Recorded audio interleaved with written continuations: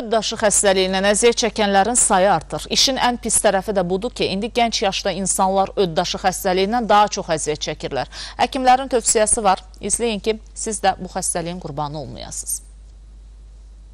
Həkimlər həyəcan təbili çalır. Öd daşı xəstəliklərindən əziyyət çəkənlərin sayı sürətlə artır. İndi ödüm ağrıyır ifadəsini daha çox işlədənlər əsasən 15-35 yaş arasında olan insanlardır. Elə xəstəxanalara edilən müraciətlərə nəzər saldıqda da məhz bu yaşda öd daşına görə şikayət edənlərin çoxaldığını görmək mümkündür.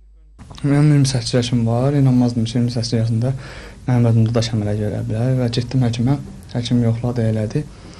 Dedi ki, özümdə daş var və təbii bitkilərlə, zadlarla müalicət edim. Mən ancaq elə bildim ki, yaşlılar da var. Özüm orada yatanda gördüm ki, balaca uşaqlarda 15 yaşında, 20 yaşında, 10 yaşında uşaqlarda da var, əməliyyat olubdular.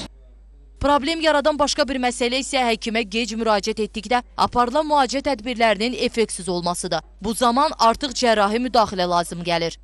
Xəstə dəfələrlə e, qusmalar olmasına, ondan sonra mədə nahiyəsində, yəni epiqastal nahiyədə ağrıların olmasına baxmayaraq, e, o bəzən onları e, mədə soyuq dəyməsi, e, bəzən çox e, sarılıq vəziyyətində, yəni e, ümumi öd kisəsindən daşların e, ümumi öd axarına doğru düşmüş vəziyyətində, yəni e, sarılmış vəziyyətdə xəstə artıq xəstəxanaya müraciət edəndə bu zaman artıq öd yollarında olan patologiyanın dərinliyi və öd kisəsində olan dəyişikliklər xəstənin e, ağırlaşmış formasına təzahür etmiş olur. Amma vaxtında müraciət etmiş xəstələr ağırlaşmamış formatlarda biz e, daha çox üstünlük veririk ki, laparoskopik olaraq öd kisəsinin xaric edilməsi və xəstənin əmək qabiliyyətinin tez bərpa olunaraq Mütəxəssislər bildirir ki, bu xəstəliyə yaxalanmamaq üçün ayaqüstü qidalardan qaçmaq lazımdır. Aparılan müşahidələr də onu göstərir ki, öd daşı xəstəliyinə bu qaydada qidalanan insanlarda daha çox rast gəlinir. İnsan az hərəkət elədikcə, insanın bədənində maye tələbat da az olur.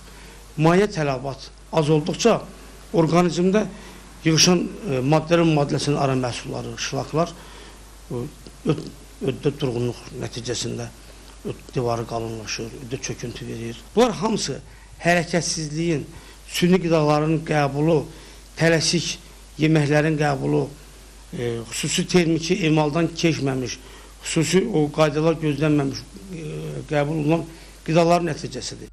Əgər xəstələr bir balaca narahatlıq yarandıqda həkimə vaxtında müraciət etməzlərsə, nəticə daha da acınacaqlı ola bilər. Ölümlə nəticələnər. Daşqın Abdullayev, Xəyyam Rəsulov, Nərmin İbrahimova, Bərdə Tərtər.